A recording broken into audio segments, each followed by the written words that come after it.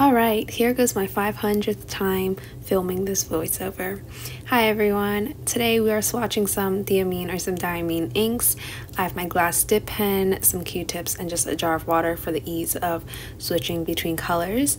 Um, I bought a six pack of these inks off of Amazon for around 30 bucks, which is pretty cheap considering I live in the US.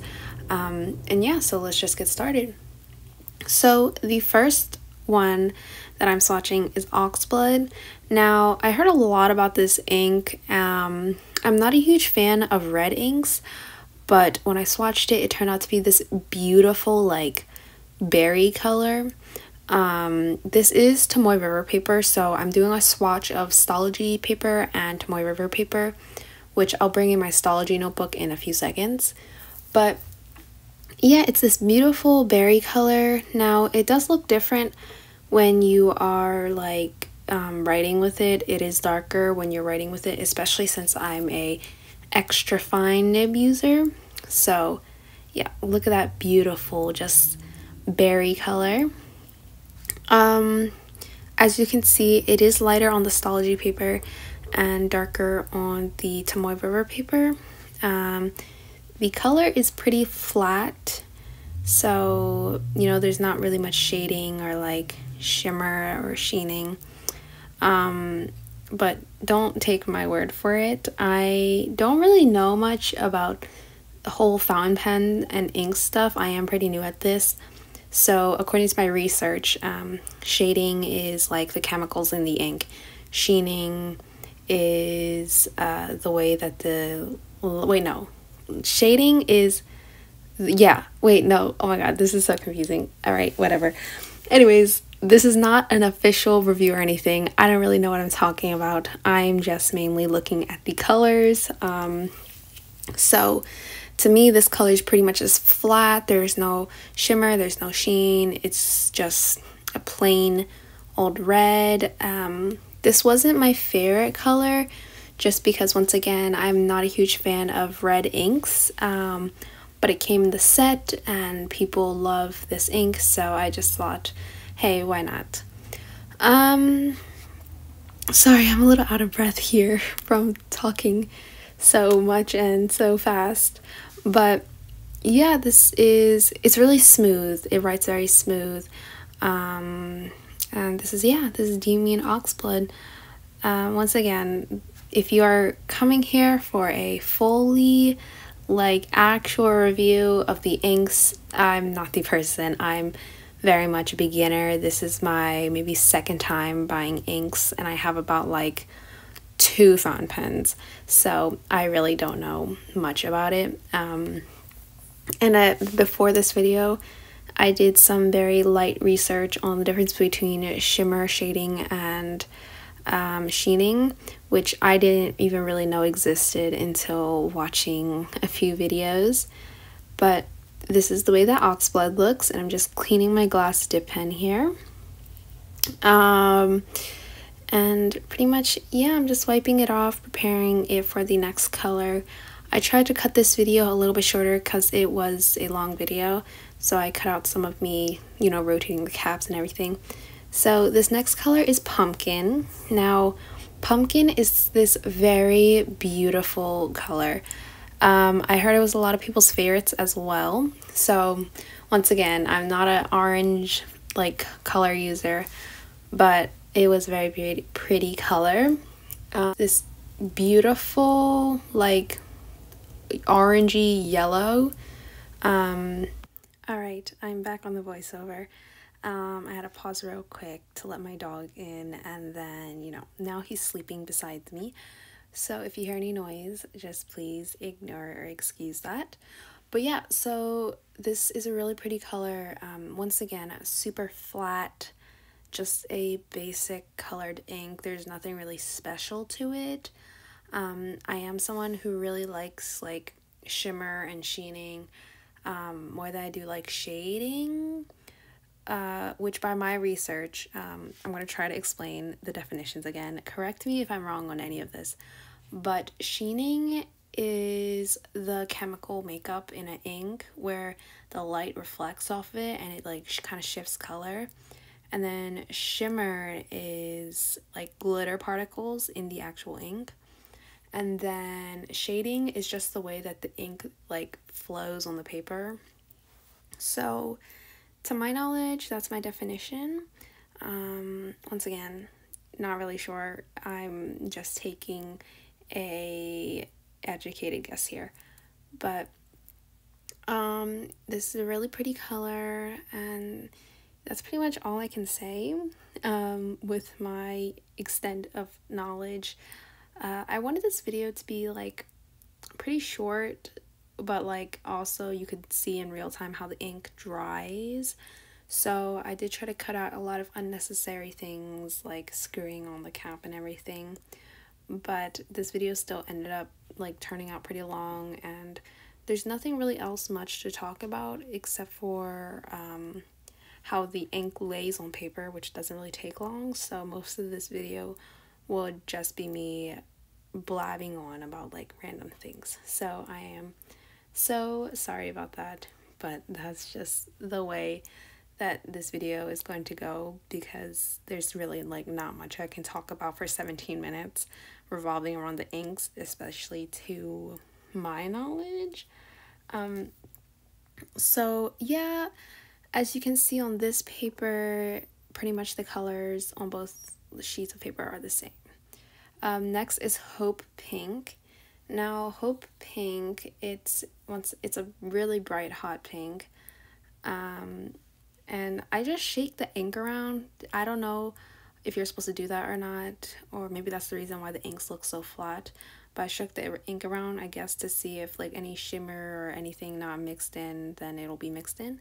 But yeah, this is Hope Pink. Um, this beautiful hot pink, once again, lays very flat. Um, yeah, pretty much that's all I can say about it. Now, I'm not a huge fan of hot pinks. I've said this about like literally every single color so far, but when it comes to writing, um, I'm not a huge fan of hot pink. I'm more of into dusty pink type of inks, if that makes sense. Um, so this just, you know, came with the pack, so that's what I got. Now, I had originally bought this pack for one of the later colors, um, but it ended up not being one of my favorites, so stay tuned and watch this video to see what was the massive disappointment of an ink.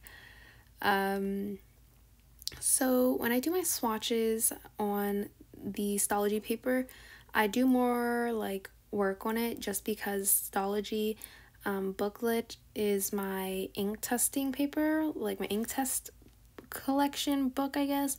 So that's why I do a lot more of like lines and dots and, you know, writing everything.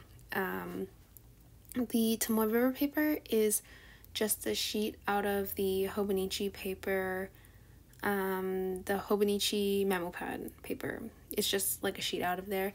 So there's not enough room to, you know, do the whole big full test.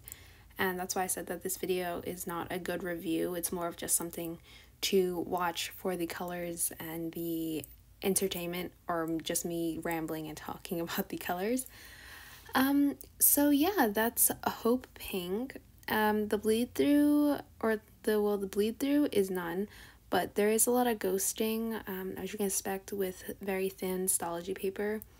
Um, so next I have here is Delamere Green. Now I really like dark greens. Sorry about that if you could hear my stomach. It's literally gurgling even though I just ate. But Delamere Green, I really like dark greens. Sorry about the little fling of ink droplets. That bothered me too. So I'm sorry for that bother you. But Delamere Green is a very pretty like dark teal color. Um, I really, really enjoy it. It's really pretty. I love dark greens. Um, and I have yet to find a good dark green actually. So this one came in very handy. Now I have the di diamine, diamine, sorry I don't know how to say the name so I'm just gonna you know switch up the the, the name from here and there but uh, I own the Diamine Green Black, which is really dark and it's almost like writing with black, which kind of to me defeats the whole purpose of writing with fountain pen because to me it's like you can get a nice black pen anywhere so you might as well experiment with some fun colors um, with fountain pen inks but that's just me. I'm not a huge fan of black fountain pen inks just because i don't really see any point and that same goes with red and like dark blue i don't see no point in buying those colors when there's so many good just regular rollerball or gel pens that have that color. But once again, my opinion. Now this Delamere green color, it is a dark green once again, but you can definitely tell it's green without having to strain out your eyeballs like it is with the green black. Um, so I'd say that this definitely solves my green, dark green color problem when it comes to inks. Um, and that's all for Delamere Green. Um, next up here we have Steel Blue. Now, I, this color, I'm, you know, I was kind of iffy about getting it, but it is my favorite out of everything, which really surprised me too because I expected the last ink to be my favorite, but this really just, it blew me away. I loved it so much, and I'll explain why in a bit. So this color is just, you know, it's a beautiful, there is a Q-tip stuck, um, but this steel blue color is such a beautiful, there goes my stomach again. So, so, I'm so sorry. This video is such a mess. And to think that this is the 50th time that I've refilmed this voiceover, um, the first time, or the first like 17 times, people were talking too much in the background and then the next time I filmed, I just couldn't get it right. And then the final time before this, I filmed, I was literally, it was fine. And then the audio was all messed up for some reason, like you couldn't hear me at all. So now I'm filming this for the 500th time. Anyways, back to steel blue. This is such a beautiful, like medium blue color. And the way that it shades on paper, oh my god it looks so nice. Now, I don't know if it's just like the glass dip pen I'm writing with, but the way that this shades is that all the ink flow moves to the edges, so it just looks like every single letter has this outline of like a darker blue in it, and it is so beautiful. So, um, it's very, very pretty. Oh, I forgot to mention that Delamere Gray has, or Delamere Green has sort of this red like um, red sheening to it and so does steel blue which makes it a thousand times prettier oh my god I love this color so much this has got to be one of my favorite inks um, and it's already inked up in my fountain pen. I love it. It's so pretty. So that is all for Delamere green or sorry this is all for steel blue. Um so yeah. And then next we have next we have oh my god i'm struggling here. Uh, next we have imperial purple. Now this color was my most like sought after color like i really wanted this color but it was such a disappointment oh my god this color was not what i was expecting i was expecting this beautiful purple with like gold shimmer not gold shimmer, gold sheening in it, and that would be like heavier sheening, but no, this was such a disappointment of a color. It was mainly just like a dark purple color with barely any sheening. Um, the color was also really flat. It just, it really did not live up to par of what I had saw online. So I was really disappointed about this ink because I thought that this was going to be like my new favorite ink, but sadly it wasn't. Um, Steel Blue was my favorite, so yeah, I'm just now doing my little, you know, swatch. Um, I like writing the name and then doing a writing sample in print and then in cursive and then to write what I wrote with write down the name of what I wrote with um, as well. And then I like to add the date of when I get an ink just because it is you know it helps you keep track of when's the last time you've used certain inks or how long you've had them. So that's just how I do my swatches in my swatch book. Um, so yeah that's pretty much all I have to say for Imperial Purple it's you know not my favorite. Um, thought it was going to be you know it's very flat color it with very very little sheening. So if you are going to buy it for the golden sheen don't even you know bother. Oh my god. My stomach and my burping it just this entire video it has been going crazy. Oh my god i'm so sorry. This is such a disgusting thing to talk about. Or um, so here is my little flip through of the swatches. Um, this is Stalogy paper. So here it is. Here's oxblood and then we have pumpkin which is very pretty very cute.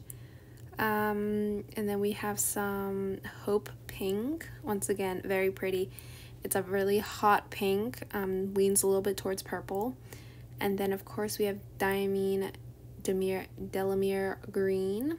Very pretty, like a dark teal color. And then we have Steel Blue, my favorite color out of everything. Very pretty medium blue shade with very pretty shading. And then we have Imperial Purple, sadly the disappointment of the pack.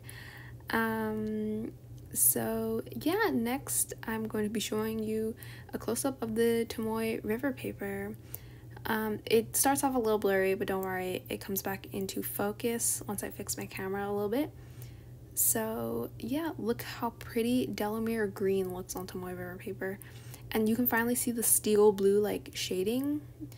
So very pretty very nice. All the inks are very nice and nice quality so if you like this video, please like it. And if you like me, then please subscribe.